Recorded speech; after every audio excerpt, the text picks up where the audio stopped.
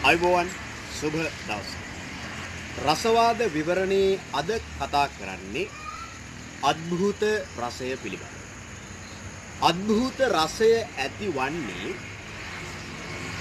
විස්මය නම් වූ ස්ථායි භාවය මූලික කරගෙන.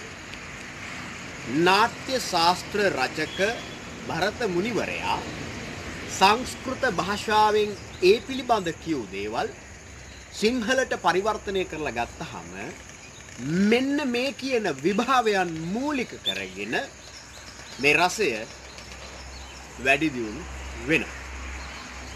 දෙවියන් දැක්ම පැතුම් හා මනදොල සපිරීම උයන් දෙවොල් ආදියට යාම් සබහනම් විචිත්‍ර මන්දිර විශේෂය විමාන මායා ඉන්ද්‍රජාලා ආදී විභාවයන් මේකට මූලික වෙනවා.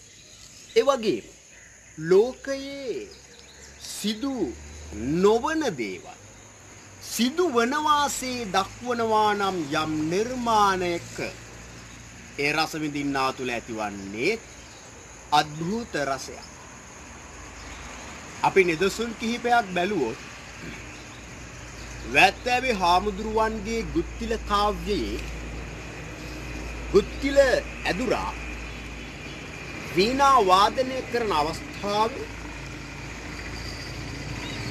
දිව්‍ය අප්සරාවන් ඒ වීණා වාදනය හරහා නර්තනයේ යෙදීම තුල එන්නේ අద్භූත රසය.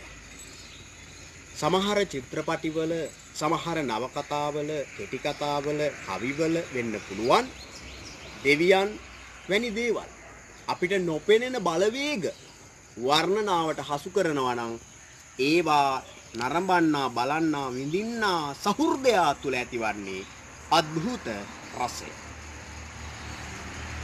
ඔබට තව පොඩ්ඩක් පැහැදිලි කළොත් ලෙනාඩ් බුල්ෆ් ලියන විලේජ් ඉන් ද ජංගල් නොහොත් බැද්දේගම නවකතාවේ අපිට හම්බ වෙනවා යක්ෂ වර්ණනයන් නොයකුත් බලවේග වර්ණනයන් අන්න ඒවා බලන පාඨකයා තුළ ඇතිවන්නේ අද්භූත රසයයි. ස්තුතියි.